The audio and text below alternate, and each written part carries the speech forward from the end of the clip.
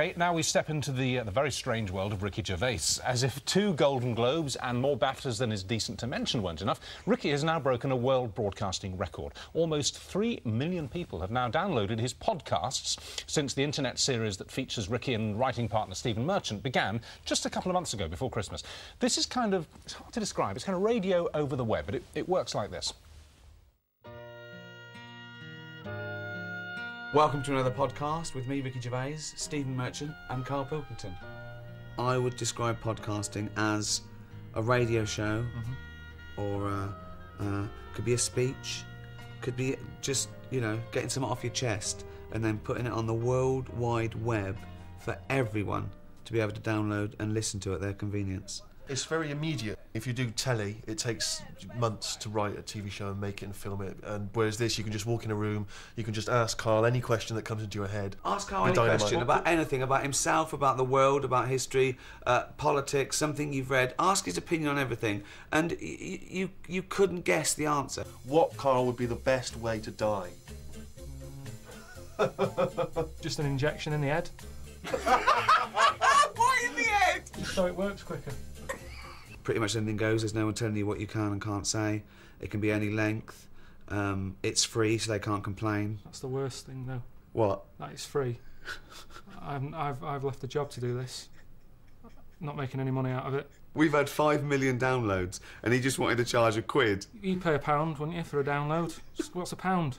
I give homeless people a pound without thinking about it. We're giving it away. What about having your head cut off? That's quick. Well, it's not quick though, is it? Of Course it found is. no, because we found out that you don't, you don't die straight away. They did some test recently. no, because they're doing face transplants and that, and this is probably the next thing up in it, like an head, doing an head transplant. So we sort of said we're gonna we're gonna cut it off, um, Gonna what? So we're gonna cut your head off? cut your head off, and then we'll we'll chuck some questions at you.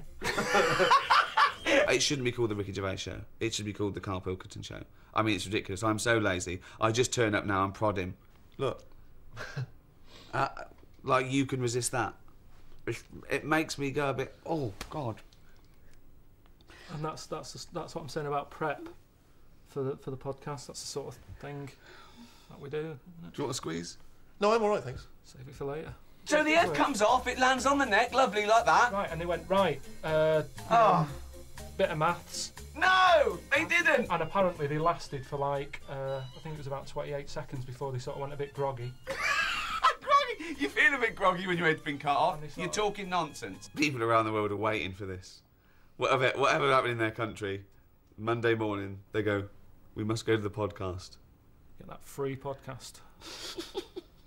There's something quite nice about being at the uh, forefront of this new technology, though, you know, because, uh, I mean, the reason we can get into the Guinness Book of Records is because there's no one to compete with.